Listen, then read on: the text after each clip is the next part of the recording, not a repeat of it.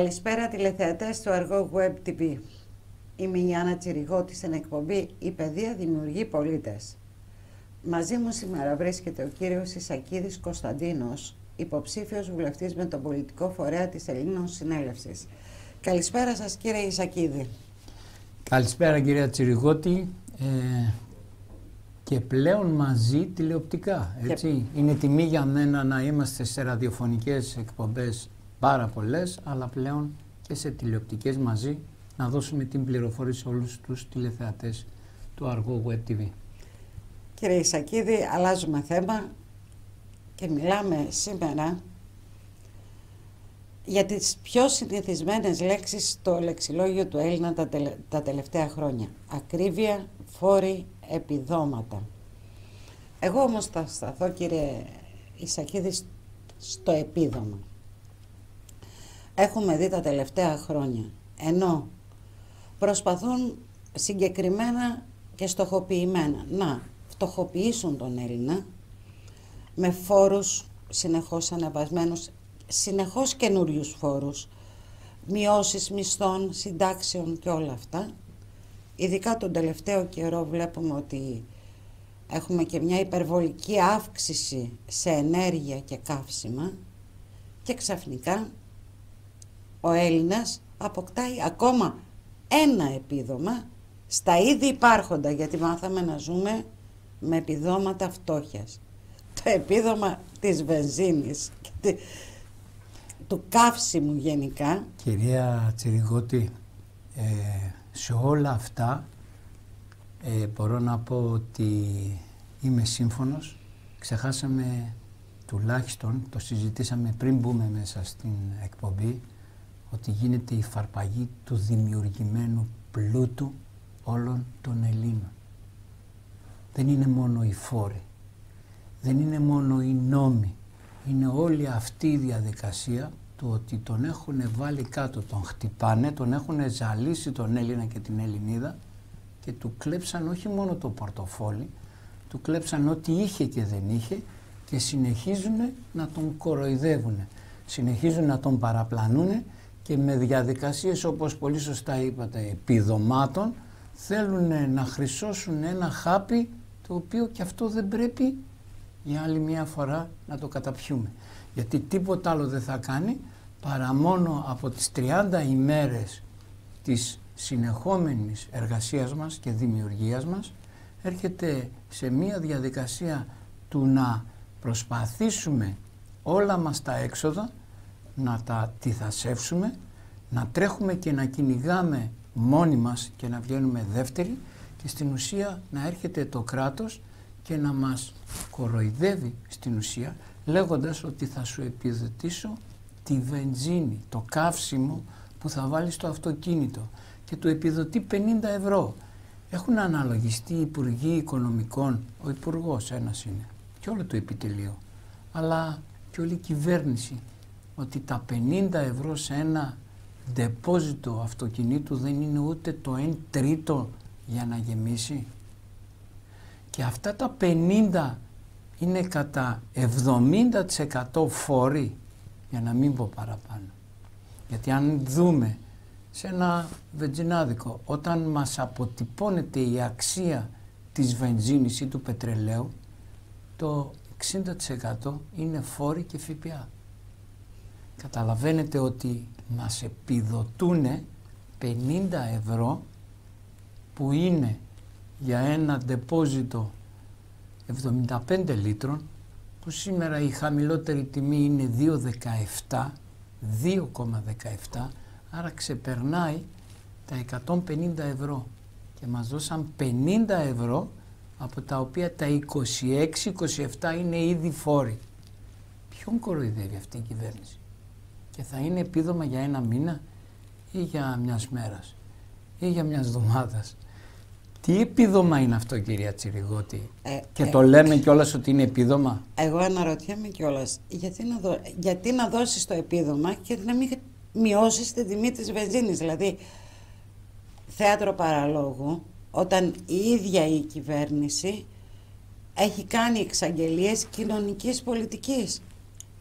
Να συνεχίσω με αυτό που έλεγα.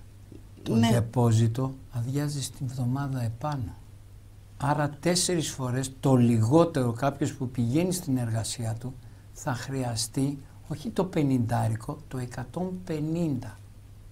Όταν η βενζίνη ήταν στο 1,20, 1,40, έτσι, παίρναν κάποιους φόρους.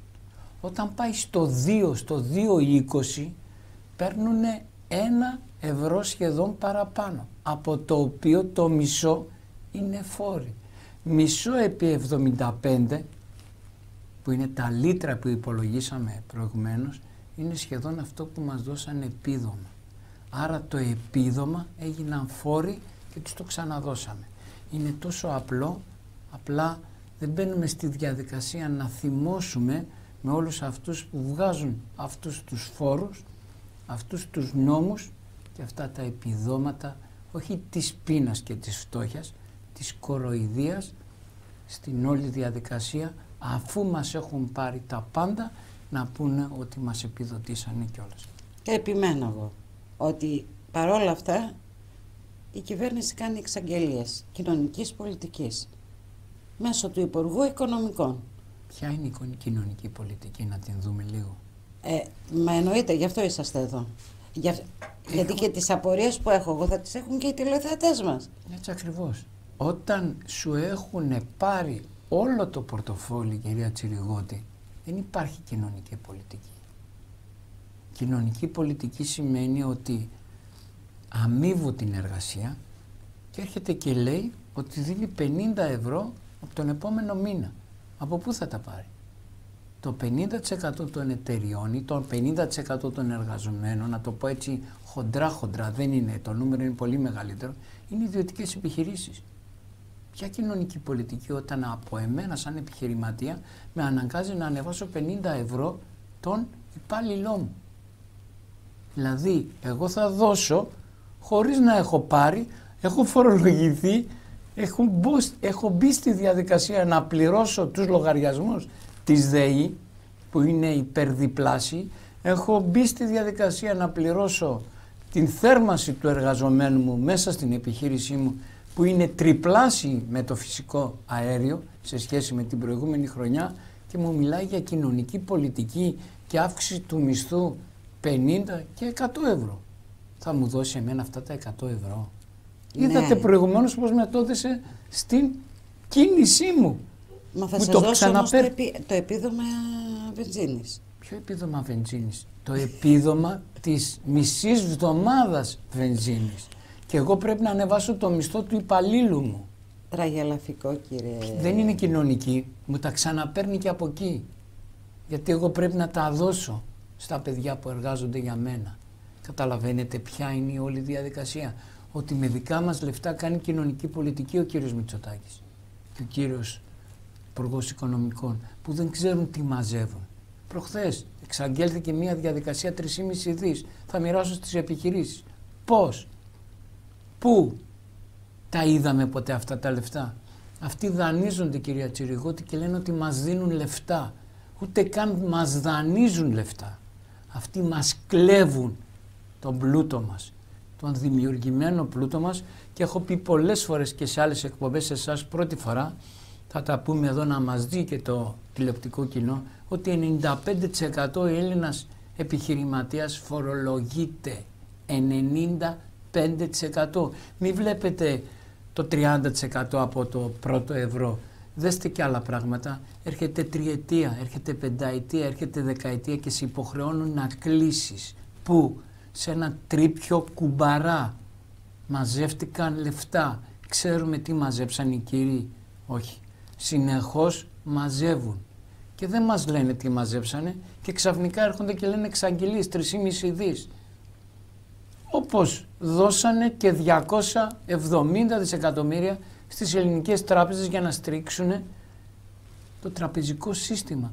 Αν αυτά τα λεφτά τα δίνανε στην κοινωνία έξω, ξέρετε τι θα στηρίζανε. Όλο τον ελληνικό λαό. Και αυτοί δώσανε σε εταιρείες ξένων συμφερόντων, γιατί οι μέτοχοι των τραπεζών, των ελληνικών τραπεζών, δεν είναι Έλληνες πλέον στο χρηματιστήριο έγινε όλος αυτός ο τζερτζελές για να μην έχουν Έλληνες θεσμικοί και ιδιώτες επενδυτές ούτε ένα κομμάτι, ούτε ένα χαρτί άειλο της εθνικής ή της οποιασδήποτε ελληνικής τράπεζας. Και εμείς χρηματοδοτήσαμε με 270 δισεκατομμύρια αυτούς. Να μην συμπεριλάβουμε και τα μέσα μαζικής ενημέρωσης και την τροφοδοσία τους, τη σταθερή Είναι τροφοδοσία. ψηλά αυτά τα λεφτά που αναφέρεστε. Δεν πάβει όμως να ήταν μία διαδικασία να τους δώσουν λάδι στον κινητήρα τους να μπορούν να μιλάνε για αυτούς. Μπήκαμε σε μία διαδικασία και έχουμε όλα τα κανάλια να λένε ότι έτσι έπρεπε να γίνει. Αλήθεια. 270 δισεκατομμύρια σε ιδιωτικές εταιρείες αν δίνανε 10 δισεκατομμύρια στον ελληνικό λαό θα ήταν διαφορετικά τα 12 χρόνια, τα 10 των μνημονίων συν τα 2 της πανδημίας. Νομίζω ότι θα είχαμε τεράστιες διαφορές. Δανείζονται και αποπληρώνουμε εμείς και συνεχίζουν να μας κλέβουν κυρία Τσιριγότη. Τι άλλο πρέπει να δούμε; Τι άλλο πρέπει να πούμε ότι αυτοί οι κύριοι εδώ και 12 χρόνια δεν ψηφίσανε τίποτα για όλον αυτόν τον ελληνικό λαό που στερήθηκε; Μισθούς συντάξεις, φορολογήθηκε, κατακρεουργήθηκε, επιχειρηματικά πρέπει να είσαι εγκληματίας για να συνεχίζεις να είσαι εκεί και να επιχειρείς, γιατί κάθε μέρα μπαίνεις μέσα, κυρία Τσιριγότη, και εκεί κάνουν τα εγκλήματα στην πλάτη όλων των Ελλήνων. Όχι μόνο των επιχειρηματιών, όλων των Ελλήνων. Στερούσανε από τους παππούδες μας τους, τις συντάξεις των 300, των 350 ευρώ κρύβανε και κλέβανε πενιντάρικα και εκατοστάρικα είτε με μορφή προστήμων είτε με μορφή κοψίματος μαχαίρι γιατί μπορούσαν λέει να κόψουν από τους πολλούς τα λίγα. Ποια είναι τα λίγα όταν τους στερείς το 20% της σύνταξης γιατί δεν βγήκανε σε διαδικασία να μπορέσουν να ξαναδανιστούν. Και ξέρετε ποιο είναι το πιο ωραίο; Τον Νοέμβριο ο κύριος Αλευθέριος Βενιζέλος έκοβε συντάξεις και τον Φεβρουάριο μπαίναμε σε διαδικασία αύξησης μεριδίου στο Διεθνές Νομισματικό Ταμείο και στην Παγκόσμια Τράπεζα. Όλα αυτά που σας λέω είναι το 2013-2014 και έρχονται σήμερα να δώσουν αύξηση 5% ή 50 ευρώ κυρία Τσιριγότη. Ήρθε η ώρα να τους βγάλουμε από εκεί που κάθονται γιατί ούτως ή άλλως δεν ψηφίζουν νόμους όπως ορίζει και το Σύνταγμα. Γιατί το Σύνταγμά μας λέει στα πρώτα δύο άρθρα όλοι οι νόμοι που θα θεσπίζονται και θα μπαίνουν σε διαδικασία θα είναι υπέρ του λαού και μόνο για αυτόν. Ας διαβάσουμε τα άρθρα του συντάγματος. Τι κάνουν αυτοί οι κύριοι; Κάνουν τα πάντα εναντίον του πολίτη, εναντίον του ανθρώπου, εναντίον του Έλληνα και της Ελληνίδας. Τι θέλετε να πούμε άλλο; Μήπως να αρχίζουμε να φτιάχνουμε. Και αυτό το φτιάξιμο ξεκίνησε με την Ελλήνων Συνέλευσης και καλούμε και προσκαλούμε όλους τους πολίτες να έρθουν να πάρουν τη μέγιστη δυνατή πραγματική αληθινή πληροφόρηση. Να δούμε πώς μπορούμε να τους αντιμετωπίσουμε. Πώς μπορούμε πραγματικά με δημοκρατικές διαδικασίες να δούμε αλλά και να φτιάξουμε αλλά και να φέρουμε τους αξιότερους σε διαδικασία να κυβερνήσουν την πατρίδα μας. Γιατί αυτοί όχι μόνο άξιοι δεν ήταν, αλλά ακολουθούσαν και σχέδια αλλογενών συμφερόντων, κυρία Τσιριγότη. Υπάρχει μεγάλη μάζα ανθρώπων που πληρώνεται αδρά αλλά πρόσχερα. Είναι δεδομένο ότι είναι προδοτική αυτή η στάση έναντι όλου του ελληνικού λαού. Εγώ θέλω να πω και να τονίσω ότι αυτοί που θα αλλάξουν την πατρίδα μας θα είμαστε εμείς οι ίδιοι γιατί δεν γίνεται αλλιώς. Δεν θα έρθει κανένας από όλους αυτούς να μας σώσει. Κόμματα και κομματάκια έχουν δείξει ότι η διαίρεσή μας μπαίνει σε διαδικασία να μην έχουμε μέλλον αύριο, να μην έχουμε να παραδώσουμε τίποτα στα παιδιά μας και στα εγγόνια μας και το πιο σημαντικό είναι αυτή την αλλαγή Την ξεκινήσαμε εδώ και 7 χρόνια με την Ελλήνων Συνέλευσης και πρέπει να την συνεχίσουμε, να μεγαλουργήσουμε σε αυτήν τη διαδικασία, να καλέσουμε και να προσκαλέσουμε και να τους φέρουμε όλους, γιατί όλοι μαζί ενωμένοι είναι δεδομένο ότι θα τα φτιάξουμε και θα μπούμε στην διαδικασία της μεταρρύθμισης της πατρίδας μας, να γίνουν όλες αυτές οι αλλαγές που πρέπει να γίνουν, να διαχειριστούμε τον πλούτο μας, κυρία Τσιριγότη, είναι πολύ σημαντικό αυτό που είπα, δεν μπορεί να κόβεις συντάξεις και απ' την άλλη να είσαι μέτοχος και να αυξάνεις το μερίδιό σου κατά 1,2 δις όταν έχεις κόψει 300 εκατομμύρια από τον Έλληνα συνταξιούχο, τον πατέρα μου, τη γιαγιά μου και τον οποιοδήποτε άλλο πολίτη που 35 με 40 χρόνια ίδρωσε, μόχτισε, αποταμίευσε, πλήρωσε ασφαλιστικές εισφορές και τελικά του κόβεις το φάρμακο, του κόβεις το ψωμάκι. Δεν τίθεται θέμα ότι είχε τυράκι.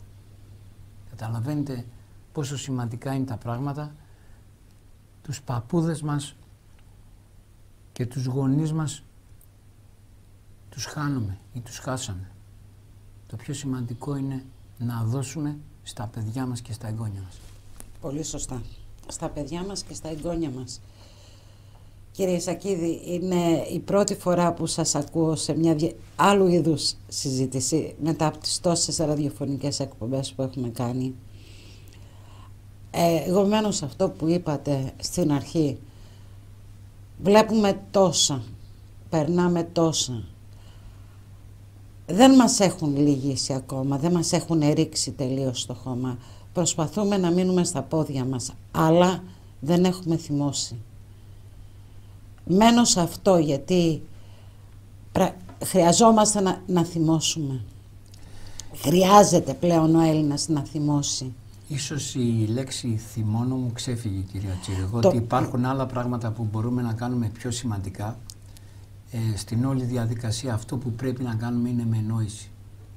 Η νόηση είναι αυτή που θα μπορέσει να μας βάλει σε διαδικασία να γνωρίσουμε με αποδείξεις τα πάντα για να μπορέσουμε να τους αντιμετωπίσουμε. Οι ίδιοι οι νόμοι που ψηφίζουν αυτοί οι κύριοι και παράνομοι και αντισυνταγματικοί είναι με τη διαδικασία του ίδιου του δικού μας ε, του συντάγματος το ότι με δικαστικές αποφάσεις, με συμβούλια επικρατείες αυτοί παραδέχονται ότι περάσαν τα μνημόνια γιατί έτσι έπρεπε εμείς έχουμε άλλες λύσεις, τις προτείναμε υπάρχουν δεδομένα ότι ποτέ δεν ελέγχτηκαν αυτοί οι κύριοι είναι πίσω και κρύβονται από ασυλίες έναντι όλων αυτών των εγκλημάτων που πράξανε, διαπράττουν και θα θέλουν να συνεχίζουν να διαπράττουν εμείς είμαστε αυτοί που μπορούμε να τους σταματήσουμε και δεν θα μας σώσει κανένας. Θα είμαστε όλοι μαζί ενωμένοι για να πάρουμε την πατρίδα στα χέρια μας και είναι δεδομένο ότι θα μεγαλουργήσουμε. Σας ευχαριστώ πάρα πολύ για την εκπομπή. Περιμένω επόμενες κύριε Σακίδη. Τιμή μου να είμαι μαζί σας και να κάνουμε τα μέγιστα για την πληροφόρηση όλων των Ελλήνων. Αγαπητοί τηλεθεατές, είμαι η Άννα Τσεριγότη η λέξη θυμός δεν είναι με τη λέξη που θα λέγαμε να θυμώσουμε για να δημιουργήσουμε κάτι κακό. Η λέξη θυμός είναι να, να θυμώσουμε για να δημιουργήσουμε κάτι καλό. Σας ευχαριστώ πάρα πολύ. Η εκπομπή «Η παιδεία δημιουργεί πολίτες» έφτασε στο τέλος της. Καλή σας συνέχεια.